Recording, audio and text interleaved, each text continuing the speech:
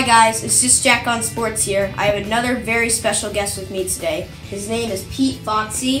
He's a part he was a part of the Milwaukee Brewers farm system and right now he's the current owner of AP Academy in Palmer, Massachusetts. So today we're just going to be asking you a couple questions. So sit back, relax and enjoy the video. So Pete, how old were you when you started playing baseball and what did you love about the game? So I first started playing baseball when I was 10. My dad was a college baseball player. My uncle was a college baseball player. Um, he was a scout for a little while, and uh, baseball was just kind of in our bloodline. So I always was around the game. Um, something I loved to do all throughout my life. And you also played hockey growing up, right? Correct. And what made what made you decide to stay with baseball? Um, baseball is always something I had a great uh, appreciation for, a lot of passion for. Um, I was you know, fortunate enough to play in a really good hockey program, but um, there just kind of came a time where I was enjoying myself playing baseball, and it was something I felt like I could do for the next, you know, 10 years of my uh, my career. So it was ultimately that's what kind of what it came down to. Hockey started to become more of like a job, and baseball was more of a passion for me. Yeah. And can you talk a little about your experience playing college baseball at UConn? Mm-hmm. It's the best decision I ever made in my life. Um, Coach Penders, uh, UConn baseball um, who actually most recently just cracked the top 25 this week with a, uh, another sweep uh, in the America Conference. Um, but he created so much structure for me. I learned a ton about myself as a baseball player, as a person, and um, you know, ultimately, not only did they give me the tools to be a successful baseball player, but they helped create the foundation that I use today at the academy. Yeah. And you had an opportunity to play summer baseball on Cape Cod, but you had already committed to play elsewhere. Could you talk about how hard of a decision that may have been for you? Well, yeah. I mean, at the time, it, it really wasn't that difficult because it was uh, the Cape uh, for a potential um, uh, kind of a temporary roster spot, or uh, you know the MLB draft. When I got drafted, uh, the prospect of getting drafted to me that was obviously the most important thing at that time. So, uh, kind of deciding to stay local and, and, be around for an extra week, and um, gracefully the the uh, Holyoke Blue Sox at the time they were willing to you know kind of keep me around and keep me ready to go as I waited for the draft. Yeah. And where were you and who were you with when the Brewers contacted you and what was your reaction? So my roommate was actually living at home at my house with me. Uh, he was playing in the um, NECBL in Holyoke. Uh, we actually went to college together. We were college roommates as well. Um, we watched the draft all day on TV, and my name didn't get called.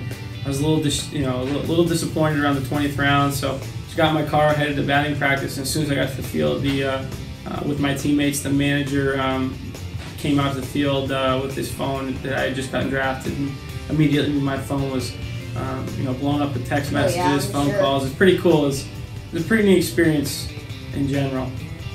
And you spent roughly about four seasons in the minor leagues. Um, what were some of your most memorable personal moments? Most memorable.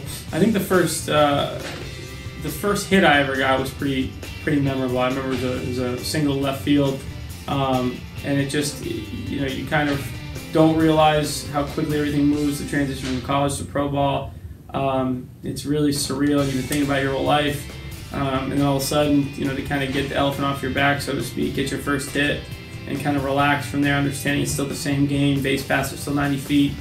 Um, that was pretty awesome. In spring training, I got to play a couple big league games.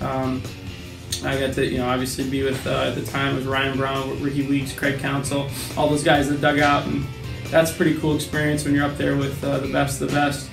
Um, but ultimately, I think the uh, one of the one of the coolest moments. Um, my last year, I played in Florence, and we had a really good team, Florence, Kentucky, and uh, we had uh, one of my teammates. We were down by three, going to the last inning, bases loaded. Kids walk off home run to send us into Game Five of the divisional series, which we ended up winning that was probably the coolest moment of my life. I've never been from such a. I thought I was packing my bags and going home to, and we got one more game to stay alive, and we actually won the game. So yeah. it was a really, really cool swing of emotions for sure.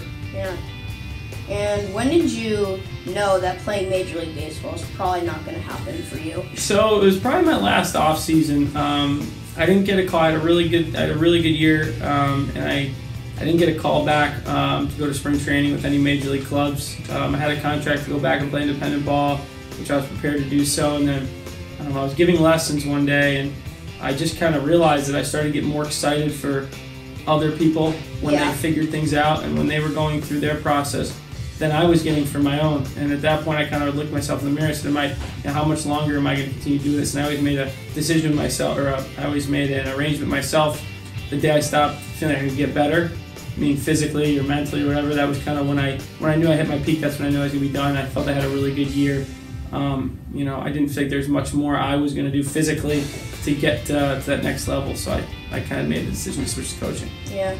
And what was your main reason for opening up AP Academy, and how rewarding is it to pass on your knowledge of baseball to young kids? Mm, it's awesome. Um, you know, if you told me this was going to be my job ten years ago, I would have. I, I don't know if I would have believed you. But we started out in just one little batting cage, um, and we always made a priority um, to put quality first and to make sure kids got the most out of our coaches and our information, and that's always been at the forefront. Um, so it's really cool for me now to see young guys like yourself come in and get better on a daily basis. Yeah. So last question: What advice could you give to young baseball players like myself to just keep going, Mm. or if they want to go into the major leagues someday? You know, I think it, my biggest piece of advice would be, especially you know at your age, or 10, 11, 12 years old, is number one, make sure you enjoy every single opportunity you have to play baseball. Baseball needs to be fun. Um, number two, um, somebody's got to do it. That's that was how it was told to me. Somebody's got to be the next Bryce Harper. Somebody's got to be the next Mike, the, the next Mike Trout.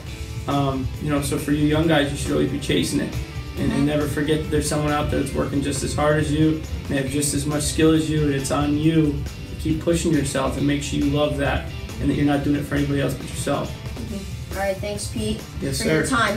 Of course. All right, guys. Thanks for watching. Stay tuned for the NBA playoffs analysis. It'll be coming out soon. All right, guys. Thanks for watching. Peace.